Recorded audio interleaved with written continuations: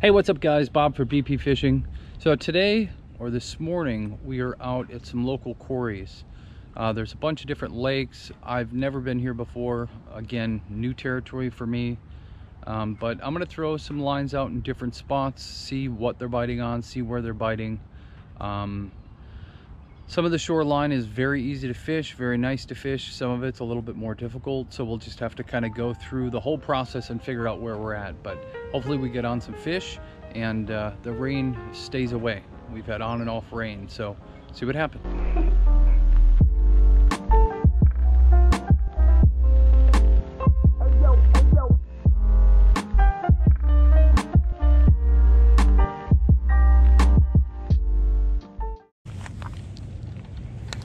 go. Just you guys saw, just had it right there at the edge.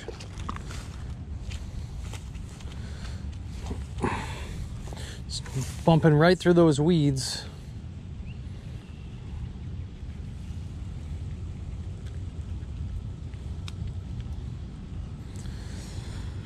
First one of the day.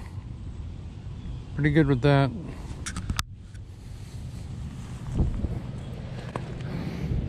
I literally, which obviously just cast right over by that tree limb sticking up out of the water and just came along right along this weed line and he was laying in there.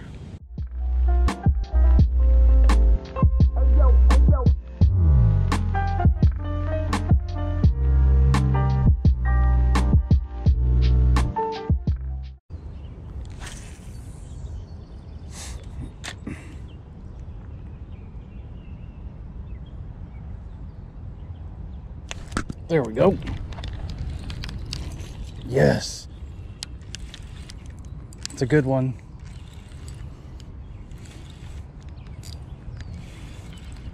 Finally. That's a good one. Look at how pretty that is.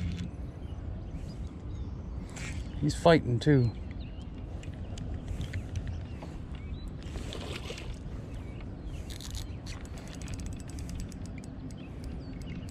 Right in that weed bed.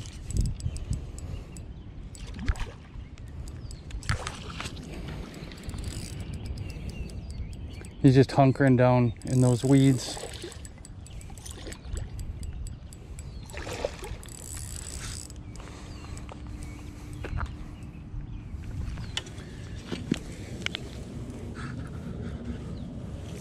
Look at that monster. I might have just broke my personal best. Look at that.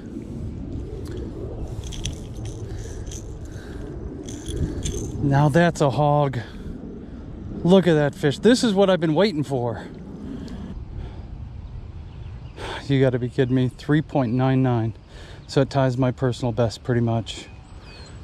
At that fish, guys. Look at that mouth. Four pound largemouth. It's a beautiful, beautiful fish. Mm, come on, baby. There you go. There you go. Go on. Go swim away. There you go. So that one was caught on this floating rattle trap. With it being so weedy and everything like that here, I can't use the traditional rattle trap and I love those things. Um, so I've got this floating one uh, it'll float and it'll dip down about a foot below the water.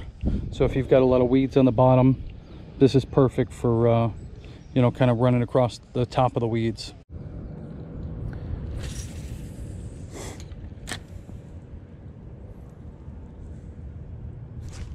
There we go. Another good one.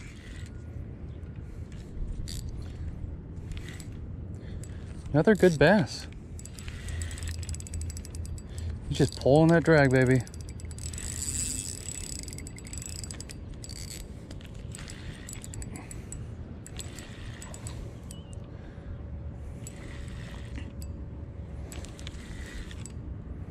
Come on.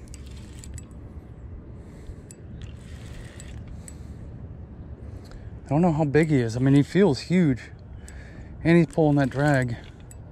He looks big looks like I hooked him on the right on the side of his mouth. Yeah, he's nice. Not as big as the other one, probably two and a half pounds.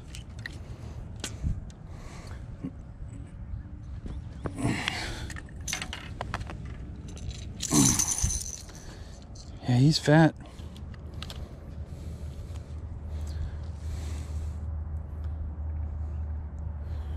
Three and a half pounds. That's a nice fish.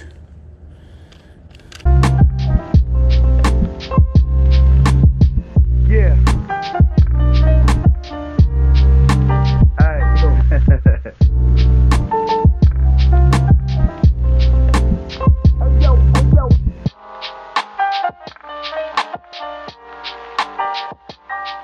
So that was an absolute blast.